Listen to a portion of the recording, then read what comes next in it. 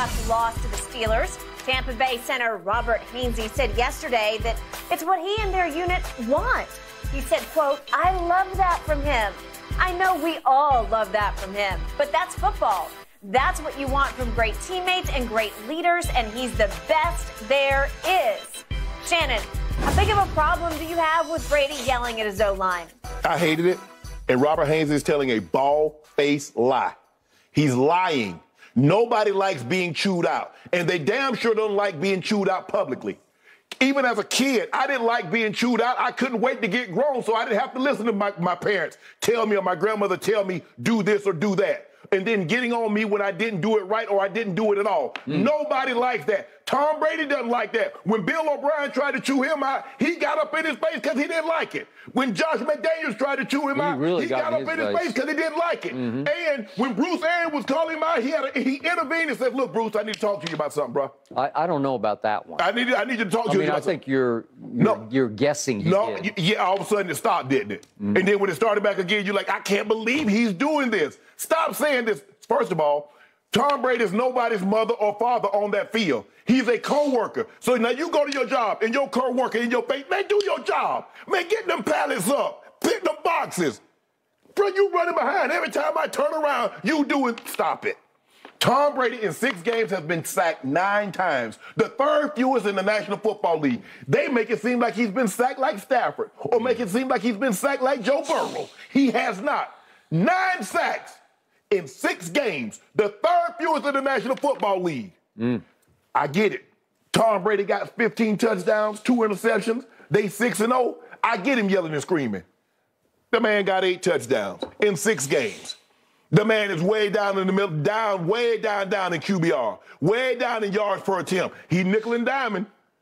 You know, if even, you know, he ain't no deep sea fisherman, and he never really been a deep sea except the one year that he had uh, uh, Randy, Randy Moss. But now all of a sudden, everything is short. Everything is shallow cross. Everything is jailbreak screen, a smoke screen, a bubble screen, or swing at the Leonard Fournette, or hit Leonard Fournette on the check down. Mm. That's all he's doing. Come on. And then, what about this? Hey, bro, you you at the wedding? Did, did, did Tom Brady forget that he was at a wedding mm. on Friday night? And he missed a walkthrough when there were potential checks that could have been made if they walk up and do this, Tom, we want you to do this. We want you to redirect. Mm. Did that thought ever cross his mind? Not one time did it. Mm. I don't mind you correcting me. If I'm not, if I'm on some bull jive and you out there balling lights out and I need to get my play up to yours, hey John, what, what's up, bro? What am I doing? Mm. But if you out there bull, you on some bull jive too, don't you don't don't you step to me? Cause I'm not the one. I'm not trying to hear all that. Mm. And he all every time he kicking, he yelling, he throwing tablets, he yelling and screaming. And now he kicking at J- Grady Jarrett and got eleven thousand dollar fine. Mm-hmm. Nah, nah. Robert Hainsey is telling a lie. There's nobody in the history of man that like being yelled at, and especially a grown a grown man yelling at another grown man publicly. Remember, Skip, public cameras changes everything. Video mm-hmm. changes everything. Robert Hainsey is lying. You know how I know he's lying? Because I've been a professional athlete, and I did not like being yelled at publicly. Bingo. You got to the heart of my issue with your issue with Tom Brady. I believe that you, Shannon Sharpe, Hall of Famer that you are, are projecting yourself on Robert Hainsey, and it does not Still work. Still like being yelled at? No. Oh, you like being yelled at? Okay. No, no, no, no, it's so. Forget Shannon. Take Shannon out of the equation. I want somebody, I want somebody to tell me, I want to hear a man or woman that says, I love being chastised. I love it. Not a kid. I'm talking about an adult being chastised by another adult. So I asked Skip Bayless. Shannon Sharpe is out of the equation. Does Skip Bayless like being chastised? It's a simple yes or a simple no. It depends who's chastising me. It depends if I respect them. It depends if I know they love me and it's coming from a position of love. So can they do it? Hainsey's quote is, "That's what you want from great teammates and great leaders, and he's the best there is. He is the best." Is he playing great currently? Tom Brady. Yeah, is he playing great currently? Well, he's not, as you say, stir fry exactly. no, yeah. but I'm saying. Okay, he's but we had his moments, and by the way, you say he's shallow sea fishing, as you call it. Yeah. Uh, remember the deep ball he threw on opening night to this guy named Julio Jones, and and that's the last I saw of Julio Jones. I, And that- I don't know what happened. And that was the him. last deep ball you saw too, ain't it? And by the way, Tom Brady led the whole league in air distance last year, so he was airing it out last year. Remember the playoff game? Remember how they got back in the Deep game? Remember ball. the deep ball to Deep Mike ball. Evans? Do you remember that? A deep, a deep out. okay, all He did hear that part?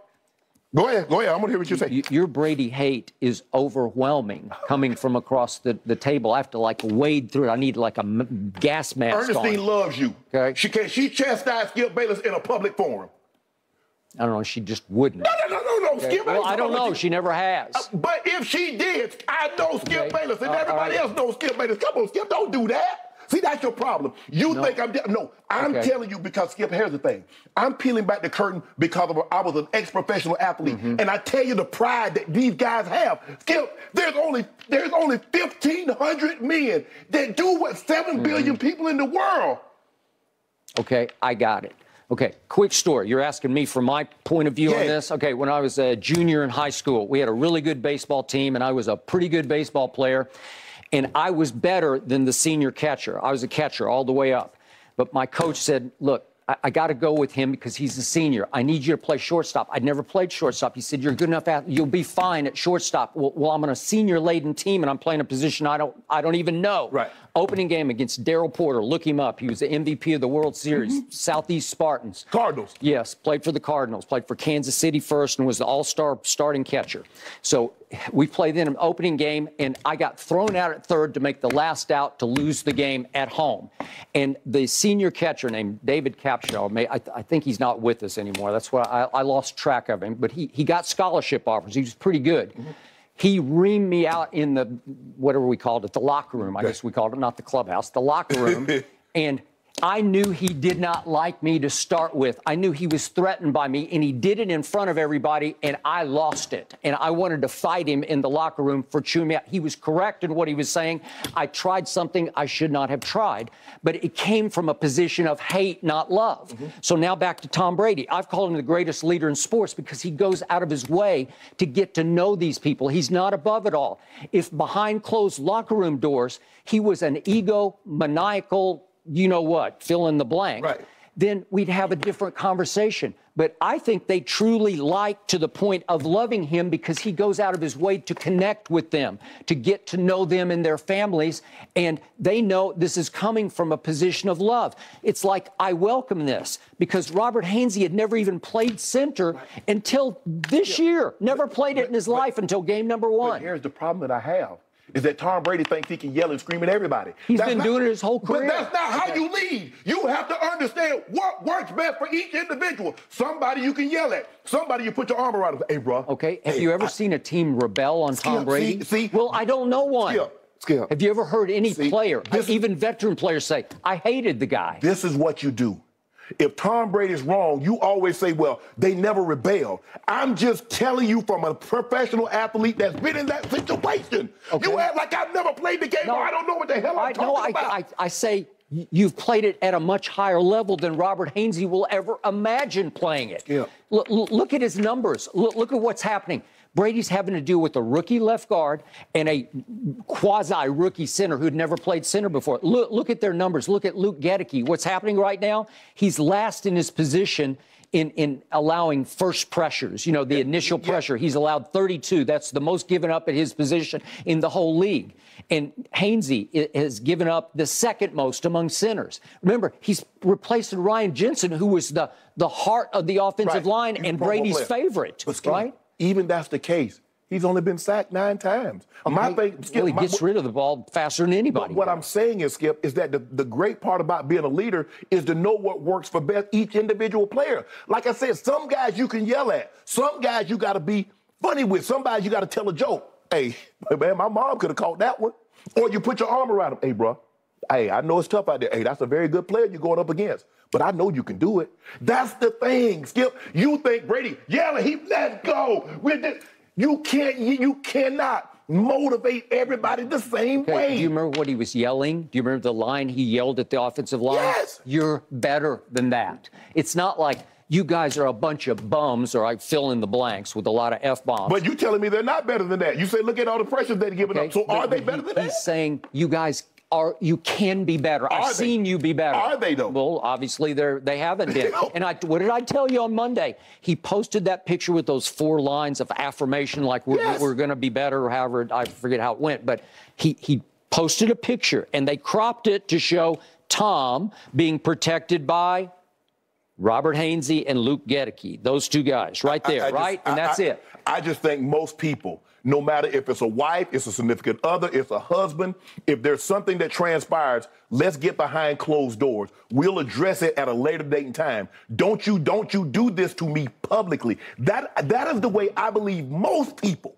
most people, I'm not gonna say all. But I believe most people would want it handled.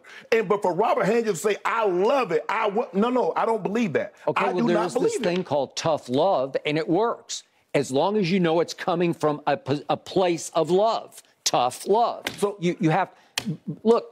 The guy's won seven Super Bowls. So- he knows how to do it. So so so so why would why was you so upset with BA calling Tom Brady to the car- carpet? You don't think BA loved Tom Brady? Well, what has BA ever done in his life? See- see, again. Uh, if he had four rings, I'd say, okay, way to go. See? You got me. But Skip, you can't you can't do it like that because at the end of the day, that's another man. You do realize that Tom Brady is talking to another man as if he's his, like he's Benjamin or like he's V. Okay, but, but Tom Brady has never, ever in a press conference called out anybody. He would never do that. He would never say, you know what, Robert Hainsey's got to, he's got to take it up Skip, I just saw the man. I. Skip, everybody just saw you. You don't have to call him out. Everybody just saw you yelling and screaming Okay, in their did, face. what did Brady say on the Let's Go podcast on Monday night to Jim Gray?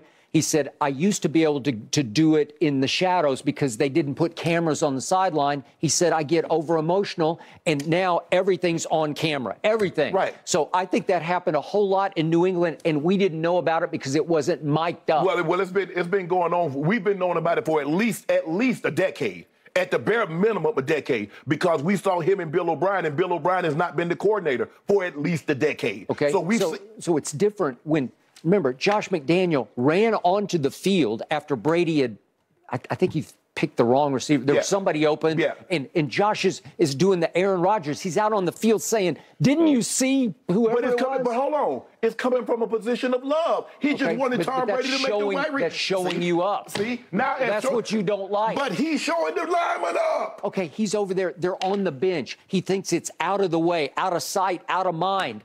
And he's th- th- they're boom mics that are picking it up.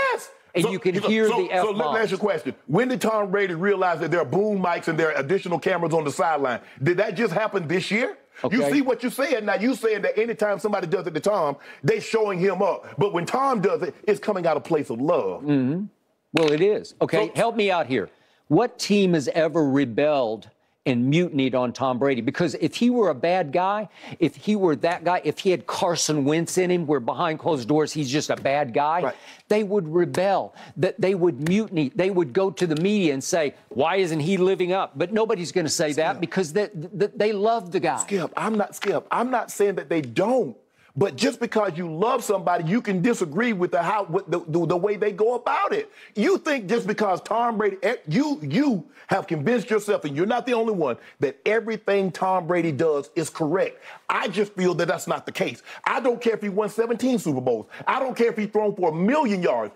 Everything somebody does isn't correct. Okay, he's yelling at two kids who are trying to to fill in for all stars, for Pro Bowlers. Because remember, Ali Marpet retired, so Yeah. he was he made the Pro Bowl last Yeah. year. Luke Jensen is a Pro Bowler, so you're having to replace them, right? Yeah. I mean Ryan Jensen, Ryan Luke Jensen. Jensen. Yeah, and it, it it's gl- it's glaring deficiencies, and he's just over there saying, "You guys can be better than this." But you're telling me I- they can't because you said they've given up the first and second most pressures. Well, so how have. much? So so can they be better?